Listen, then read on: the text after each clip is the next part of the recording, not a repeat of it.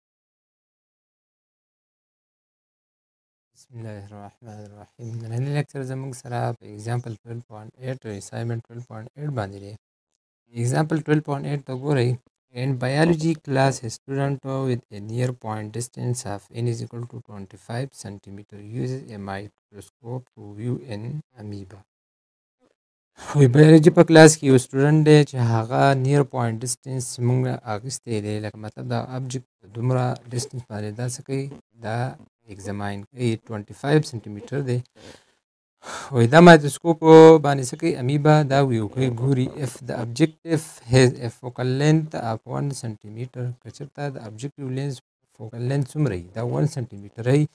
آی پیس هیز ا فوکل لینت اف 2.5 سانتي میټر او ابجیکټیو چې کوم لینز دی د دې دا فوکل لینت څومره وي دا 2.5 سانتي میټر وي ان دا امیبا از 1.1 سانتي میټر فرام د ابجیکټیو لینز او دا امیبا د ابجیکټیو لیف لینز نه په 1.1 سانتي میټر باندې سي دا جدا پرته ده واټ از د میګنیفیکیشن پروډوس بای دی مایکروسکوپ کوم مایکروسکوپ دی په دې باندې به څومره میګنیفیکیشن پیدا شي مطلب دا به د امیبا څومره ټایم داسې کې میګنیفای به کې تاسو په ګیون ډیټا کې ولیکئ ان ای راکړی 25 سانتي متر اف ناټ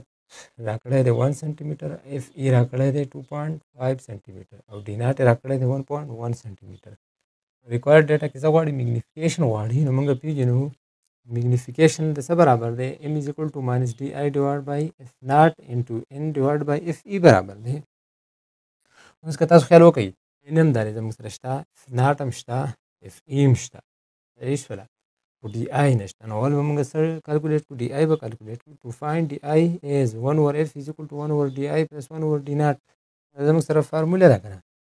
نو زه د دې نه ډي آی معلوموم نو دا ون اوور ډي ناټ پسې دې خو راوړم نو ډي آی به دلته پاتې شي نو ون اوور ډي آی از ایکول ټو ون اوور اف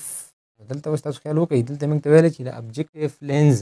نو دا ابجیکټ په دومره فاصله باندې دی نو موږ خو بیا هغه اخلو که نه نو فوکل لینز به بیا موږ د ابجیکټیو لینز اخلو نو آی اف پیس والا خو به نه اخلو که نه نو د دې اف په ځای به تاسو څه ولګوئ ون اوور اف ناټ به شي او ماینس ون اوور ډي ناټ ښه نو اوس کار کوو ون اوور ډي آی از ایکول ټو د دې السیم چې والو اف ناټ ډي ناټ دا به د السیم شي نو پاس به څه پاس شي دا اف به د اف څخه کینسل اوټ شي صرف ډي ناټ به پاتې شي نو ډي ناټ ماینس او ډي ناټ به ډي ناټ کینسل اوټ شي اف ناټ به پاتې شي اوس مونږ خو اصل کې ډي آی معلومو دا سایډ هم الټا کا او دا سایډ هم سکا الټا کا نو ډي آی به زما سره برابر شي چې اف ناټ ډي ناټ ډیوایډ بای ډي ناټ ماینس اف ناټ اوس په دې کې ویلیو پټ کړئ نو ډي آی قیمت به مونږ له سره شي اف ناټ 1 سانتي متر ډي ناټ 1.1 سانتي متر ډي ناټ زموږ سره 1.1 سانتي متر او ماینس اف ناټ سره 1 سانتي متر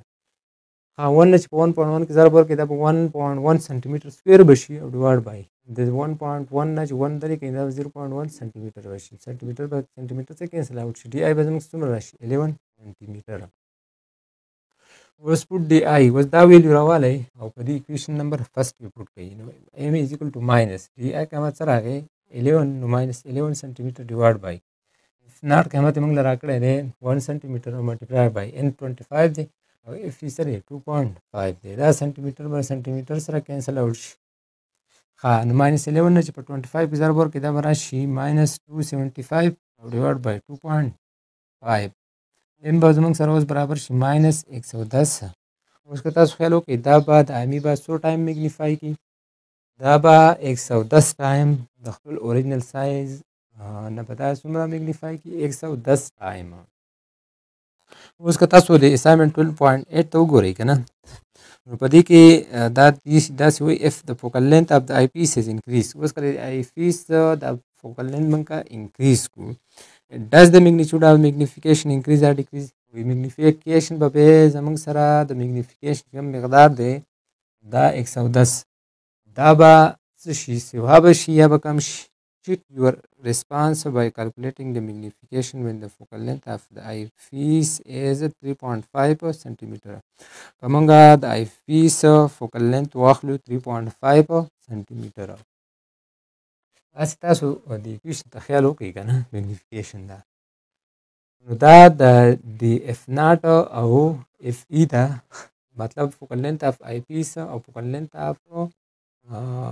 چې کوم ابجیکټیو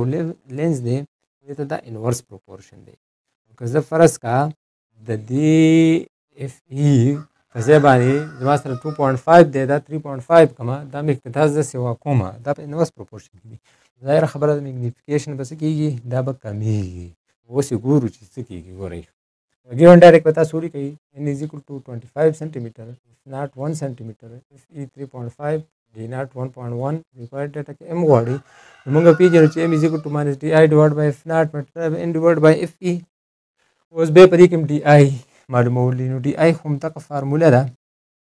لري شول ځکه چې فوکل لینت خو موږ چینج کړی نه دی فوکل لینت د آی پیس ولا په خپل ځای دی فوکل فوکل لینت اپ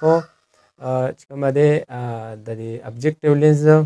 سره 1.1 صرف 1 سانتي متر دی آی پیس ولا صرف چینج شوی دی نو فرض کدا تاسو دا کوم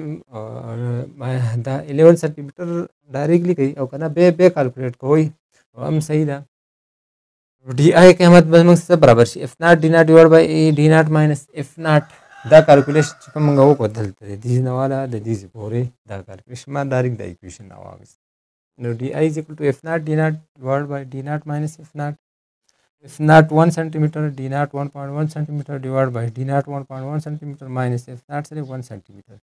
اوس دی 1 لا په 1.1 کې ضرب ورکړي دا به 1.1 سانتي متر سویر به شي ډیوایډ بای 0.1 سانتي متر سانتي متر به سانتي متر سره کینسل او شي ډي آی به څومره راشي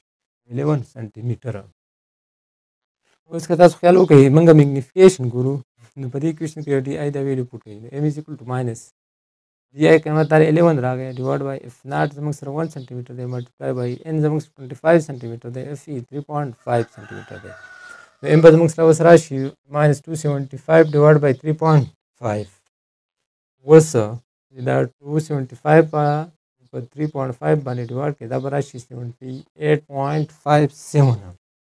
دلته که تاسو خیال کړئ دا میګنیفیکیشن زموږ سره 11 110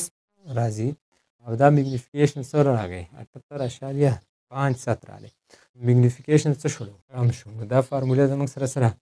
اپلای شو دا چې ټول آی پیس په کلن سیوا کې